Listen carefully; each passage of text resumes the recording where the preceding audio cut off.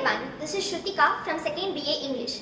Most of us are believing that to study the course that has a higher scope in the society and then to be recruited in a job that is well paid and then to have a well settled life will be the peaceful life. But why are we expecting to live such a life? Because it is easier, it is what the society frames as a happy life. More than that, we fear. We fear of taking risk, we fear of losing something. But what really a life is? Life is 10% of what happens to you, but 90% of how you react to it. You have to react in a way that the failures and rejections must fear that they are not accepted. Friends, do you think that your life is meaningless? No. Life will be more meaningful if you find your life purpose. Here, I would like to ask you a question. What do you think the purpose of your life is? Hard to answer? Let me help you.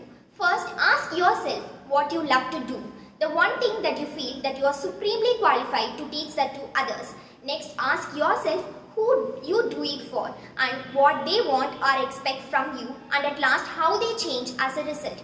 Arrange them in a row and that's it your life purpose is attained. Once you found your life purpose, you may feel that you are facing a series of difficulties that will restrict you from getting your life purpose. But it is actually the journey that will lead you to the beautiful destination.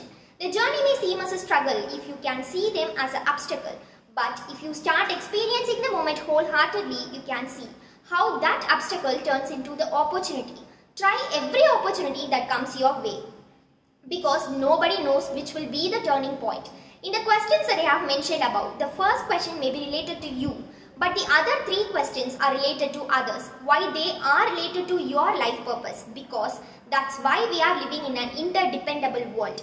Happiness comes from the moment you do something for others. Here again, what do you think the purpose of your life is? If you get a hopeful answer, I'll be satisfied.